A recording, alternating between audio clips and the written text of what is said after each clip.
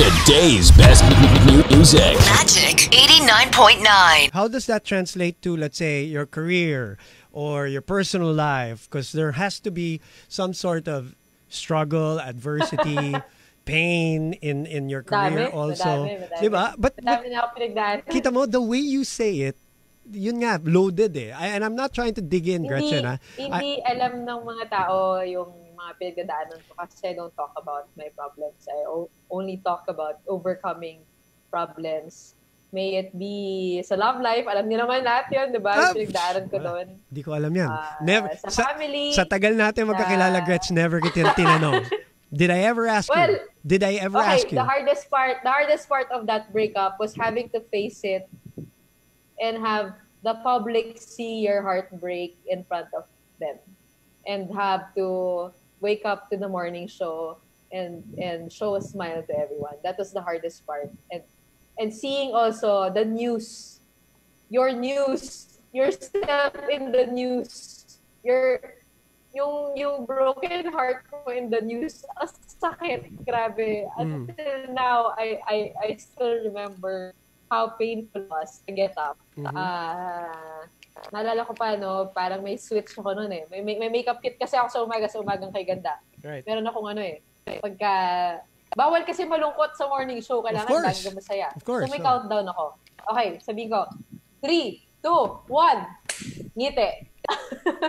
Ganun ako sa morning nun. Kasi, hindi, kailangan talaga, kailangan, we have to be happy for our viewers. We have Mhm. to give them joy. We have to infect them. But to do that, you have to be good as well.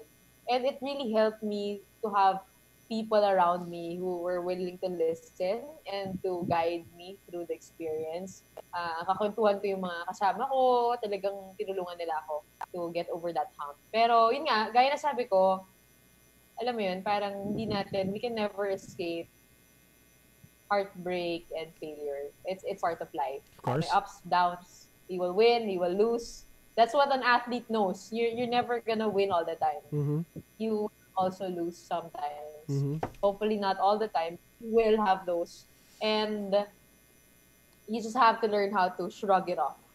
Uh, take the lesson. Tawanan mo sarili mo kasi tao ka lang. Tao ka lang like everybody else. And then learn. Do better next time. If you, you know, if you're struggling, if you're having a hard time, okay lang yan. Basta you're trying. And yun na ako, um, day by day, day by day, day by day, I got better. So, How long did Uh, the process take for you, uh, without being without you know details or anything? I mean, in general, how long did the process uh, take for you to? Yeah, getting getting over, moving on, getting you know your one mind. year. One year. Was it a one year really? One year, one year. Funny, we've Mabilis never. na yun, ah. Yeah, Mabilis na yun. Five years kami together.